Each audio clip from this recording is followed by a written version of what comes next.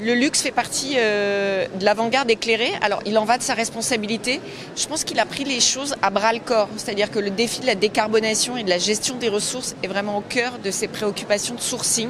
Et ce que j'espère, c'est qu'il va emmener avec lui d'autres modèles économiques. Euh, donc, je compte sur le luxe pour faire tout ce travail euh, aussi d'évangélisation.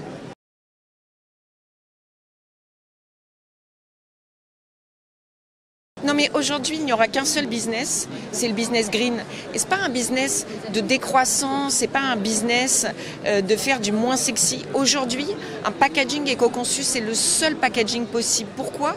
Parce qu'il y a une telle rareté des ressources, des telles difficultés d'approvisionnement, un tel risque image, un tel risque de fiscalisation que faire différemment en fait, c'est au mépris des risques. Il y a une voie, la voie de conjuguer économie et écologie, elle existe et il appartient aux entreprises de se l'approprier. Mais c'est ce qui se passe aujourd'hui et je pense que les échanges sur le salon aujourd'hui montrent que c'est pas du tout un vernis, c'est une remise en place de justes process de fabrication, d'action et d'achat.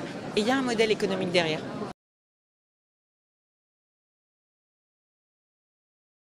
complexe parce que en fait ça vient interpeller un modèle qui est mature, qui est amorti depuis 50 ou 80 ans.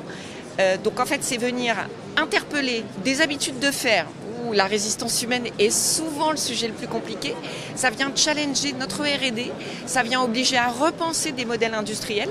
Donc c'est compliqué. Et je dis toujours, c'est comme arriver au sommet quand on fait de la marche en montagne. Ok, on a un petit peu transpiré dans la montée, mais quand on arrive en haut, c'est excessivement euh, utile et surtout, je pense que ça donne aux entreprises euh, la capacité de faire et du business et du bien pour la prospérité.